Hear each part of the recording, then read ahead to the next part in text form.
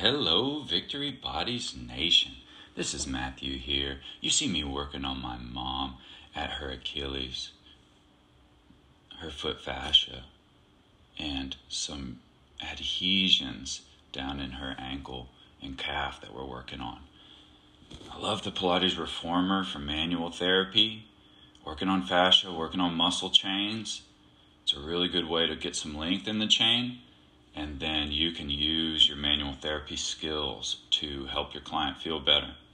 Let's take a look at the uh, superficial back line in Myers Anatomy Trains, starting at the fascia of the foot, going up the Achilles into the calf, the hamstrings, skipping, uh, going through the hamstring tuberosity to skip the glutes, and we're going up the spinal muscles, up the posture muscles, up the neck muscles, wrapping into the front of the skull the muscles that lift the eyebrows. So, from the fascia of the foot to the muscles that lift the eyebrows, that's an entire chain. And that chain might have damage, weakness, uh, excessive amount of strength, and it needs to be balanced. So, on the reformer, you see me starting to work on my mom's foot again using a little pinch.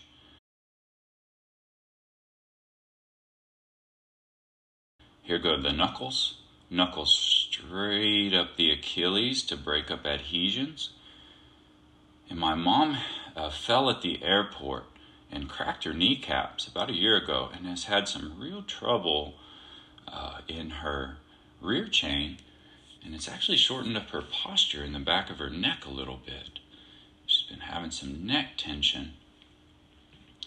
And so, of course, we're working on her posture while we're exercising but we saw I saw a limited range of motion in her left ankle, and uh, when we were doing feeding straps, so we went in there. We're breaking up the adhesions,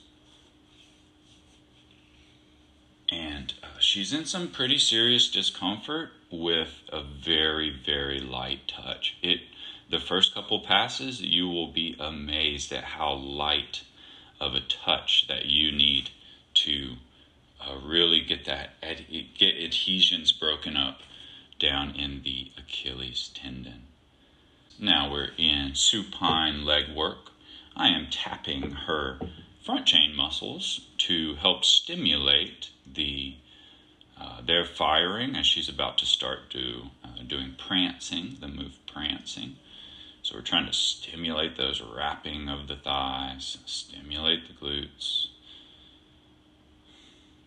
especially stimulate those ankle flexors now as she goes into prancing. Now, here I'm helping her with fascia lengthening by actually helping her pull, helping her get a deeper dorsiflexion in the ankle. And man, after you massage somebody and put them through that unfortunate pain, take them back to re- uh, supine here because this is pleasure. This, uh, now we're scraping, we're rubbing down or up the Achilles. And my mom was really loving this situation here versus being up in the straps. And you can really help somebody just release tension all the way up through their posture be sure to have them scoop the abs and stack the posture. Have them breathe, and you can really help them lengthen up the line of the Achilles and the soleus. And there she goes. We're going to start working on the left one and finish the video with a good pull. You see that firm pull? Oh, clients love that. Hope you like the video and see how you can help people manually on the reformer. The reformer puts you in a lot of winning positions uh, where you don't have to work as hard as you would on a massage table. Okay, have a nice one, and I'll see you on the next video. Bye.